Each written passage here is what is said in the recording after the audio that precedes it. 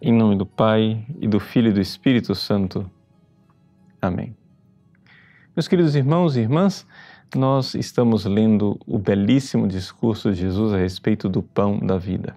E no dia de ontem ele introduziu o tema mais especificamente, dizendo: Eu sou o pão da vida.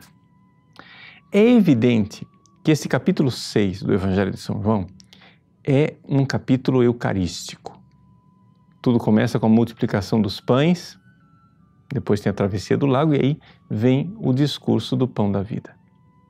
Mas, assim como a missa é dividida em duas partes, a liturgia da palavra e a liturgia propriamente eucarística, também este discurso do pão da vida é dividido em duas partes.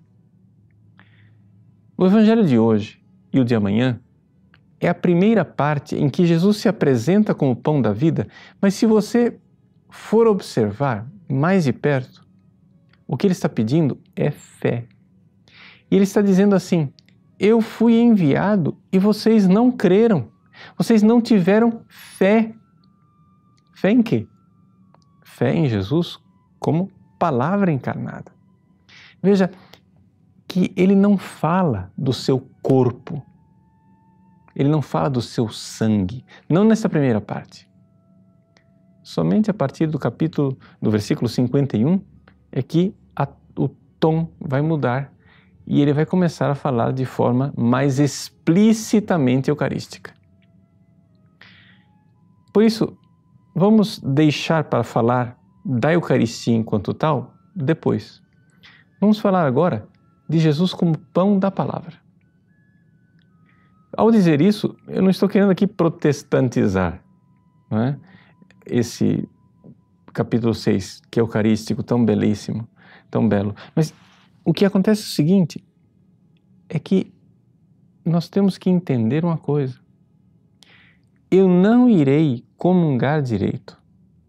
Eu não irei receber o pão eucarístico se eu não estiver antes com as disposições interiores e, portanto, com uma fé pronta para receber Jesus como palavra. Jesus começa dizendo: Eu sou o pão da vida. Aquela vida eterna que nós falávamos antes. Mas, veja, ele está falando de um pão que alimenta o quê? Não o corpo. Um pão que alimenta a alma. E como é que a nossa alma vai se alimentar? Como é que pode vir um alimento para a alma que é espiritual? Ora, para algumas pessoas pode parecer estranho e até meio desencarnado, intelectualista, mas vou dizer, a nossa alma se alimenta de verdade. Ou seja, é a verdade que alimenta a alma. E se você não der verdade para a alma, ela morre de fome. Deixa eu dizer isso de forma mais clara, mais existencial. Eu tenho certeza que você já teve essa experiência.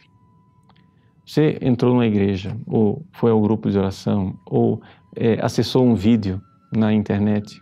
Você estava para baixo, sua vida estava complicada, você não via sentido nas coisas.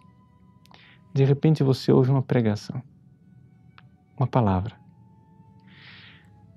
aquela palavra não muda o teu sofrimento, mas ela dá sentido ao sofrimento. Aquela palavra te alimenta interiormente e você sai outra pessoa. Você sai como que revitalizado, refeito por dentro. Isaí, quando a luz da verdade ilumina a sua alma e você acolhe com fé, você teve uma refeição espiritual. Por isso, nessas homilias diárias que nós gravamos, o que, que nós queremos dar para você? Né? São esses cinco minutinhos em que a gente meio que mexe na palavra de Deus, a gente rumina junto à palavra de Deus, para que essa palavrinha mastigada consiga ser alimento para você. Então, é importante que você ao receber essas homilias diárias, você dê tempo para a sua oração, não somente assista. Reze depois. rumine e faça uma refeição espiritual. Deus abençoe você. Em nome do Pai, do Filho e do Espírito Santo. Amém.